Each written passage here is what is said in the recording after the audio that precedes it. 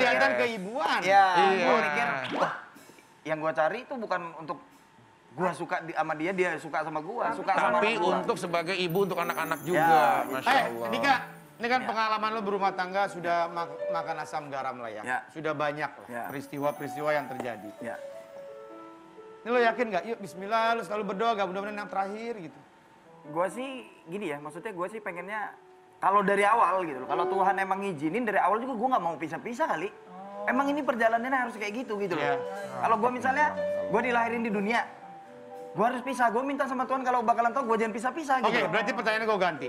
Ya, Ya. kalau itu memang sudah takdir. Tapi Ya. paling tidak, kan ada sebab, ada akibat. Ya. Akibatnya perpisahan. Ya. Sebabnya ini bisa diminimalisir gak? Supaya akibatnya tidak terjadi. Kalau gue berpikirnya Lu tuh beda cerdas sekarang. Iya, Gua ngelaluin- banget kalau lu mah. Kalau gue beda, itu kan Bagus. takdir, Nah. lo bilang. Sekarang gue merubah takdir itu sudah bisa gitu loh. Iya, iya. Oh, lu bisa ngerubah takdir, hebat banget lo. Iya, lewat apa? Lewat doa. Nah, sekarang gue lebih banyak berdoa gitu. Makanya kamu, aku dengar katanya sebelum memutuskan pengen serius sama Reni sampai sholat tahajud bener? Ya, salah gitu.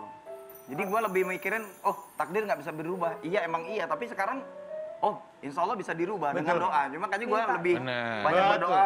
Dia anak anak kecil fans gue, gue tahu kecilnya gitu loh. Oh, bisa suka. Begini, Berarti kan gini. berarti Iya, kan iya. kecil Iya, ini. udah bukan, jalan, bukan, bukan. Harus, harus, di- harus, di, harus diperjelas. Ya. Iya. Dia anak kecil, maksudnya Ya. pada waktu dia usia, Reni usia kecil, Ya. sudah SMP. mengikuti perjalanan karir Ya. kangen band. Ya. Oke, Jadi kan kalau berapa fans usianya? itu kan sukanya suka beneran gitu loh. Iya. Sayangnya sayang beneran gitu loh. Nanti kalau udah nikah bukan Reni lagi kamu panggilannya. Bunda kangen.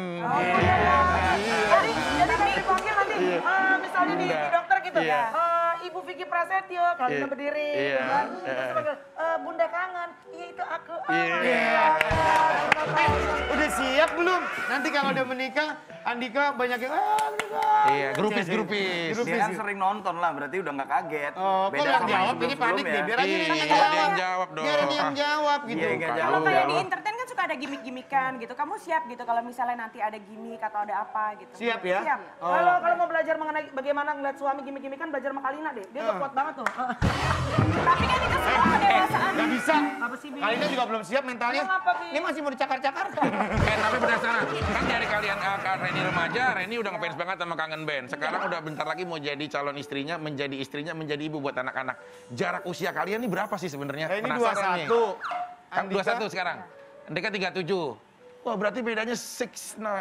Apa 6'9 sih? 16 apa? Apa 16 years? Iya, ah, 16 years. Oh berarti Andika, sorry. Andika berapa tadi usianya? 37. 37 dia. Berani berapa, puluh satu?